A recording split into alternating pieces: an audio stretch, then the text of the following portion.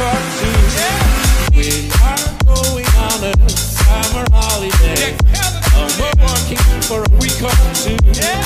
We are going on a summer holiday. We're working for a week or two. After summer holiday, no more worries for me.